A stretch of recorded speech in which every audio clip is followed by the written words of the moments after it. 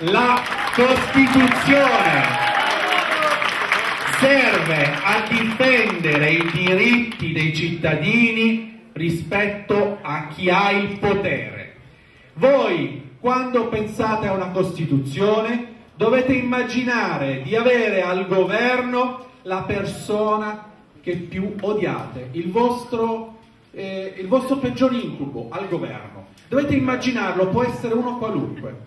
Per qualcuno è Salvini, per qualcuno è Renzi, per qualcuno è Berlusconi, per qualcuno è Grillo, per qualcuno è Trump, per qualcuno è Putin. Non importa, voi immaginate di avere al governo il vostro peggior incubo, magari il vostro capo ufficio. Ecco, immaginate quello, quale Costituzione vorreste a difendere i vostri diritti? Ecco perché io dico no.